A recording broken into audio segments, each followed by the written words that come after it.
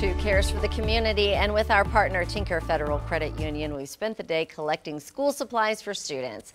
Two News anchor Karen Larson joins us live from our studios out front in Brookside, where our back to school drive is wrapping up. How's it looking out there, Karen? You know, it has gone so great all day long. Our viewers have been so generous. In fact, these two little girls came and brought us this absolutely darling unicorn backpack. We've got school glue, we've got erasers, we've got crayons, all the things that so many students need.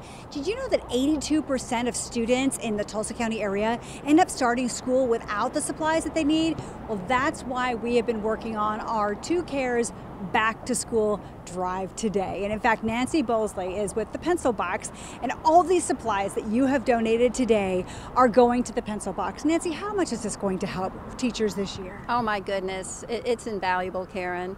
Uh, the gifts, the generosity of the community is just so very much appreciated.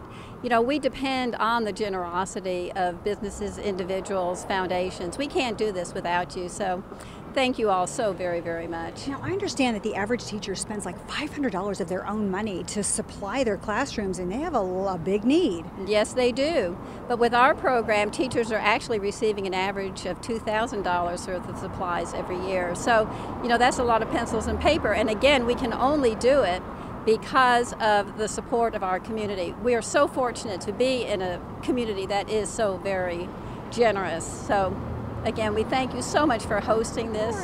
It's just really been a fun day. Um, we beat the heat, didn't we? Yes, we did. And the rain That's and the wind. well, Sarah Roberts with is with our partner with Tinker Federal Credit Union. Sarah, thank you so much for you joining us as well. Of course, thank you for having us here. Tinker Federal Credit Union was so glad to be a part of such a good drive. Thank you for uh, everything and having us here. We appreciate you helping and sponsoring this. And we've got Savatron over there, encouraging everybody to save. And we want to help teachers save as well with help from our Vice President and General Manager and the Scripps Fund. We have a donation we would like to make to the Pencil Box $2,000. so this is our gift to you because Two cares for the community. Thank you, Karen. And we're able to maximize your gift because of relationships we have with manufacturers and retailers. So your gift will go even further. So thank Wonderful. you so much. Well, thank, you. you. Thank you, everybody. Thank you and to our viewers as well. Remember, you can still go online and donate. You can help a student get the supplies that they need.